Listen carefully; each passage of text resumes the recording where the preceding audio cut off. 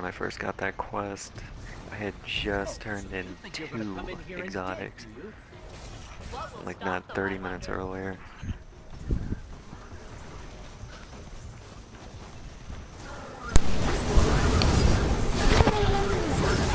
Uh, genuinely feel like my exotic ratio has went down since I've had this quest.